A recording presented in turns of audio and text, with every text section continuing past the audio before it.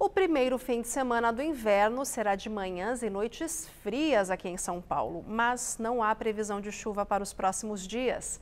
Vamos ver em detalhes a previsão do tempo com Fernanda Azevedo.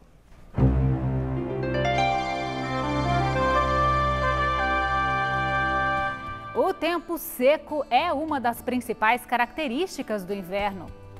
A nova estação começou bem dentro desse padrão. Toda a área amarela mais central tem sol e baixa umidade do ar amanhã. Aliás, o número de focos de incêndio já dobrou no Brasil em comparação ao mesmo período do ano passado.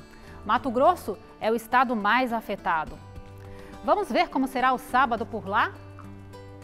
Na capital, Cuiabá faz sol e calor o dia todo, máxima de 35 graus. E será que vai dar praia?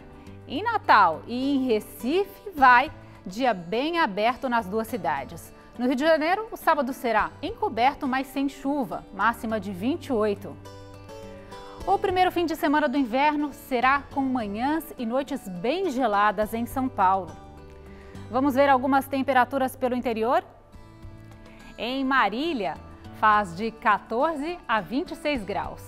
Na outra faixa temos Ribeirão Preto com 15 graus de mínima e 28 graus de máxima e na faixa leste mínima de 12 e máxima de 24 em São José dos Campos.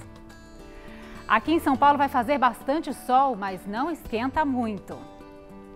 Nos próximos três dias, a máxima não passa dos 25 graus e a mínima será de 13 no sábado e no domingo e de 12 na segunda.